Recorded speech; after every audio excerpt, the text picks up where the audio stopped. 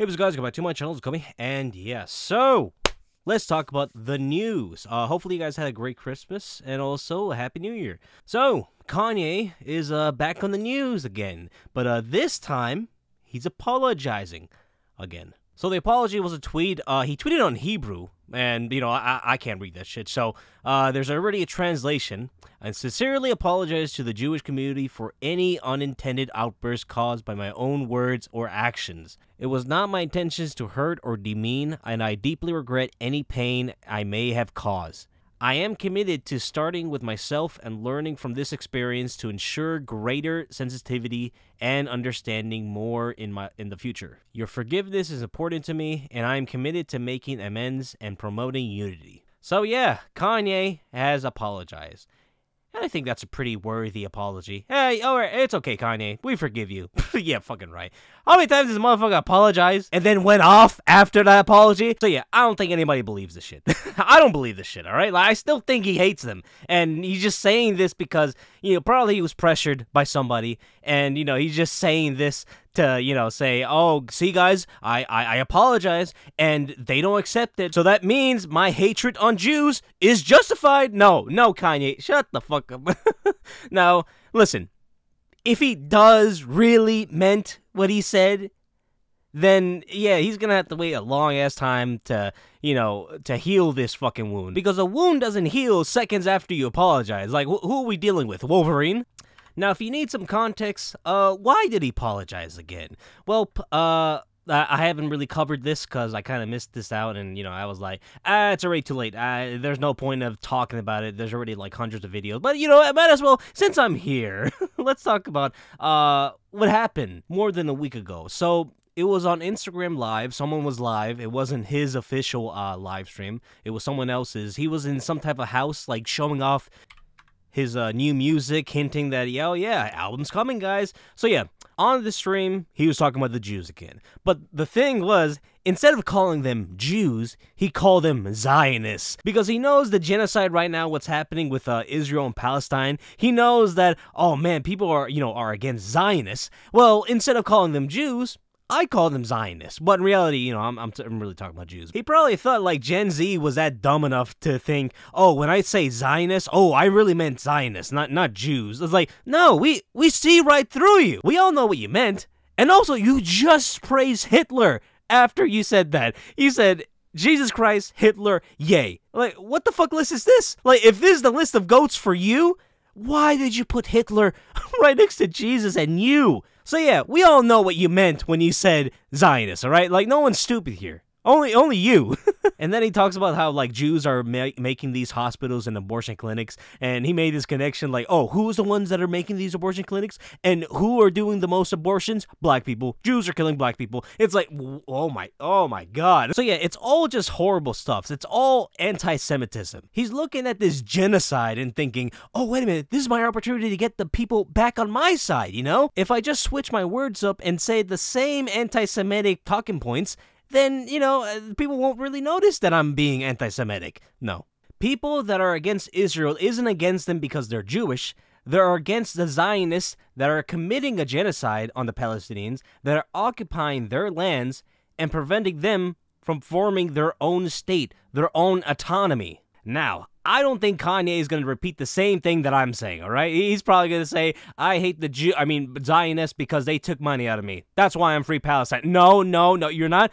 you're not the same team as me, all right? Shut up. So, yeah, let's just wait and see if Kanye actually meant it. Let's see what he does after this. So, Daft Punk has released a new album. Now, don't get too excited, all right? I know what you're thinking. It's not a new album, all right? It's called Random Access Memory drumless edition. So I listened to it, and yeah, it's the same album without the drums. It's what the title says. Um, it's not bad, but man, they just released a 10 year anniversary version. Like, it's still 2023. It's December. They couldn't wait for like a month and, and release this at least until 2024? Now, I did a little bit of research, and it seems like the artist Daft Punk, I don't know their names, I'm just gonna call them Daft Punk, but it seems like they're not the ones that made this idea. It was actually the label. So, uh, yeah. Now, listen. My only problem about this album is, uh, you know, re listening to it, still a great album. I love it. But like, you know, I just wish they did more than just remove the drums. It's like, you know, removing the drums is actually pretty noticeable. It's like, wait a minute. I never noticed this instrument in this song. So it's like, all right, it, it's actually a pretty noticeable difference. But like, they couldn't add something to replace with the drums because, you know, the drums is a piece of instrument that was heavily used in the album. So they couldn't like replace it with something else, you know? It's like making a TV show removing the main character and having the actors pretend like the main character doesn't exist. It's like, wait, this doesn't make any sense. Yeah, sure, I like all these side characters, but like the main character, uh, like I I can't hear his dialogue. So it's like, what what the fuck is this story? Like I'm listening to songs, I'm like, yo, they could put some more echoes, they could put some more reverbs, maybe another instrument, something. Like, yo, this is the most least effort I've ever heard. So, and it's sad coming from this album. So yeah. Now, I know I'm a little bit late, but I watched The Boy and the Heron, and I thought it was a pretty good movie. Now, this isn't one of his greatest of all time. This is not touching Spirit Away, uh, My Neighbor Totoro, Ponyo, uh, Castle in the Sky. It's not an S tier Studio Ghibli movie, you know? I could see some people putting in an A, but for me personally, I gotta put it in the B. The biggest issue about the movie is the pacing. I thought it was pretty slow. Now, I enjoyed it, but it was like, wait a minute. We go to this different world now? like there's a second world they got to go, but it's like, wait a minute. So you you wasted our time by making this movie slow. Like there's a lot of fat in the beginning. They could have cut that shit off. And my biggest issue about the movie is when they go to this new world, it felt rushed. Like, these are the same guys that made Spirit Away. Like, 10 minutes they stay in this old world, setting up the story, and then bam, new world. In here, it was a lot of watching people walk, stare, and think. So you guys couldn't reduce the time that we spend just staring at them doing nothing you know, to make it a snappier movie. I don't know, man. It, it, it kind of felt like Miyazaki is just flexing, like, hmm, y'all thought I lost it, huh? Look at this. Look how beautiful this shit is. And yes, the movie is beautiful, man. Like, I saw this shit in IMAX. Amazing experience, man. Like, this is the first IMAX that I finally get a seat in the center and my god. Like you you felt you feel like you're in the world because the screen is so big. And when i mean big i don't mean like oh they just zoomed the movie and made it big. No it's like it's like it's like um playing on pc with an ultra wide. But except here it's big on all sides. So it's like you get more context. You get more of the screen in the movie. Now the voice acting. I thought everybody did a great job. You know, uh, Christian Bale, I thought it was funny because, like, this guy is supposed to be Japanese. Why does he have a Brooklyn accent?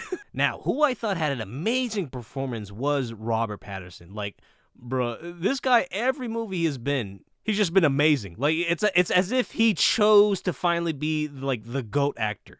like, it's it, it, that's what it seems like. It, he just went overdrive. It's like ever since after Twilight, it was like, all right, it's time to be the best actor of my generation. When you hear him talk, you're like, no, that's that's not him.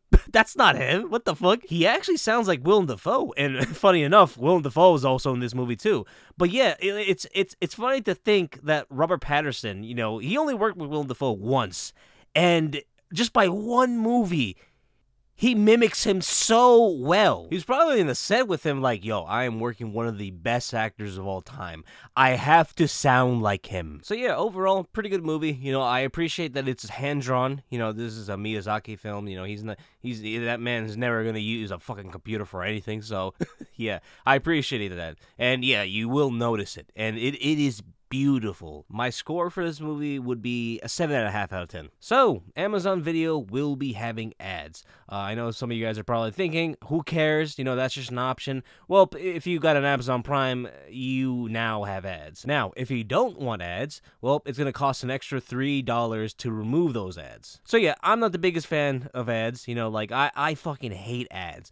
But I, I will say, like, there is a difference between, I don't know, like, ads on TV and then ads on the internet. You know, it just feels, I don't know, I think TV just feels natural. You know, like, it doesn't feel like it's annoying. In some channels, the ads are longer than the movie. like, yeah, bro, I remember, I remember watching a movie. I'm like, yo, hey, yo, what the fuck? This movie is like four hours long, but in reality it's two. Well, that's because they're cramming as much ads as they can between every ad break. But when I see an ad on like, I don't know, on a streaming service or in YouTube or any other like platform, it's like, yo, why does it feel annoying? Like, why does it feel, why, why do I just hate it here? So yeah, hated ads since I was a kid. Uh, I begged my parents to get Netflix because, you know, no ads. And also I could watch it in my phone. And also it was around the time where it was like, you know what? I'm watching more stuff from the internet than on TV. You know, it's like I have Netflix, I got YouTube. I, I don't really need TV. Like I was kind of low key to asking my parents, like, you know what, you could take away TV from me. You know, just keep the internet. But around that time, there was no option. there was no like option, no package for like only internet uh, without any cable. You know, back in the days, it was just only like two subscription, you know, uh, services. It was just Hulu and Netflix, you know, and that was way cheaper than cable. But nowadays, there's more subscription services. You know, like companies want to make their own services and put their own movies in those services instead of like sharing to either Netflix or Hulu. You know, the the the, the top dogs. You know, and eh, usually their services is like you, you ain't got nothing. you only got that show you made 20 years ago that was really good. And maybe some other shows that I saw some clips from TikTok, you know? I'm just to use this free trial and that's it. You know, I'm just to cancel you. Just to binge that show. So yeah, they're getting more expensive, but you can always get the cheaper version, which is the ad version which I hate. Like I, I, I fucking hate ads. You know, I'm just like, all right, either I don't have a service or I do. I'm willing to pay a premium price for a premium experience, you know, on a service that has a lot of shows and movies that I like, you know? Right now, I'm only sub to like two places, and that's Max, Hulu, and Amazon. Uh, two of those, I, you know, sub to the premium price, and one of them now is going to become an ad version. Listen, I only got Amazon Video because it came with Prime, right? like I that it's it's almost like you know just like oh here's a cookie after you buy this. It's like all right this is this is kind of cool. Like Amazon Video, it's pretty cool. You know, like whenever I buy my physical movies from Amazon, uh, you know, I redeem my code and then you know Amazon Video would be the place where I watch it digitally. You know, um, but that's about it. You know, like uh, also you know The Boys is cool that's it. like I'm not I'm not watching uh what's that what's the other show? Uh Invincible. You know, I don't I don't give a shit about that. Like I only watched one season and I thought that was really, you know, below mid. And there would be the rare occasion you would find gems in Amazon Prime. You know, like a lot of A24 movies are in Amazon Prime and you can watch it. But now after like I, I think it was like February, now there's going to be ads in it. It's like, wow. Um looks like I'm never watching any anything from Amazon Prime. But yeah, I think that's uh that's all I got to say. Hope you guys enjoy this video. Like, comment, subscribe, follow me TikTok and Twitter so you can keep up to date on everything what I do. And uh, yeah, Merry Christmas and Happy New Year.